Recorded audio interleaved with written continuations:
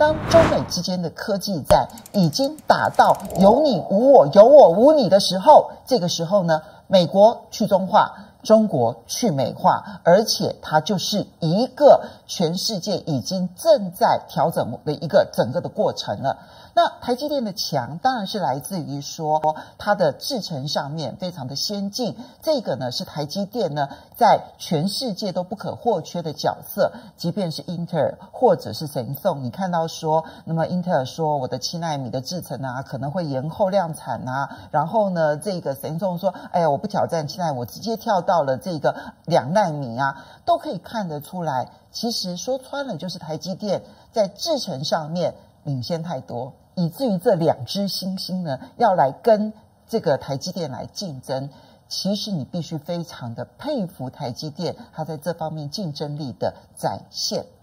但是呢，现在全世界呢，半导体业最热的一个话题就是，美国到底要如何的才能百分之百的去中化？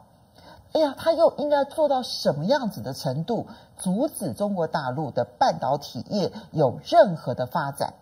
现在传出来呢，呃，美国底下的一些公司，可能是苹果，也可能是辉达，他可能会去买安谋，这是一个英国的公司，但是呢，后来是被日本的软体银行软银那么所这个并购了之后呢，现在软银它内部碰到了一些财务上面的问题，因此他要把安谋给卖掉。他卖给谁？如果他卖给了美国企业，比如说像卖给辉达，卖给了苹果，他就变成了另外一家美国公司。